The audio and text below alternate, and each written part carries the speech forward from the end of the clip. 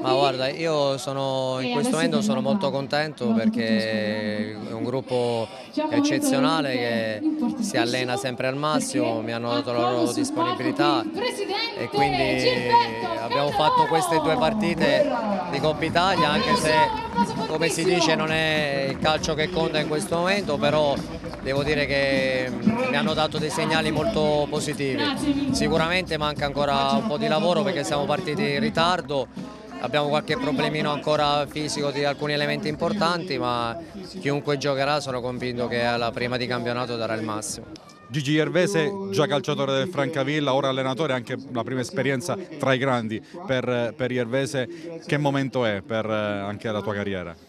Ma eh, devo dire che era quello che desideravo, dopo sei anni di settore giovanile bellissimi nel, nel Pescara eh, colgo l'occasione per ringraziare il Presidente e tutta la società perché mi ha dato la possibilità di, di crescere e di dare e di confrontarmi anche con, con tecnici bravi per me sono stati anni importanti e formativi.